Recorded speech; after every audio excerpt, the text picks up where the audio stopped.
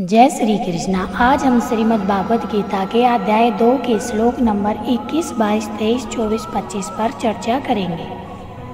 वेदावि नासीनम नित्य एनम जम वयम कथम से पुरुष पार्थकम घातयति हंतिकम इस श्लोक में भगवान श्री कृष्ण अर्जुन को समझा रहे हैं कि आत्मा अविनाशी अजन्मा और अपरिवर्तनीय है। आत्मा न तो पैदा होती है और न ही मरती है।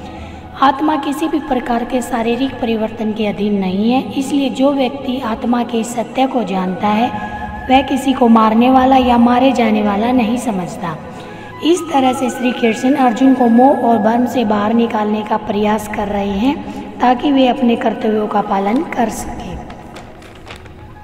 वंशासी जीर्णानी यथा विहाय, नवानी गृणति नरोपराणी, तथा शरीराणी विहाय जनियो नैनानी संपाति नवानी दे। जिस प्रकार मनुष्य पुराने वस्त्रों को त्याग कर नए वस्त्र धारण करता है, उसी प्रकार आत्मा पुराने सीन शरीर को छोड़कर नए शरीर को धारण करती है। शरीर बदलता है, लेकिन आत्मा अजर अमर है। नैनम छिदंती शस्त्राणी, नैनम दहती पावक। न चैनम कलदेयंती, न शोषयती मारुत। अर्थात आत्मा को न तो शस्त्र काट सकते हैं, न अग्नि जला सकती है।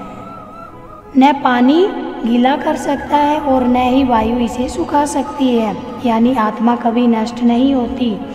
अच्छे दयो यम आदियो, यम अकेल देयो शोष्य एव च नीत सर्वगत शताणुश्च लोयम सनातन। है यह आत्मा न तो काटी जा सकती है, न जलाई जा सकती है और न ही गीली की जा सकती है और न ही सुखाई जा सकती है।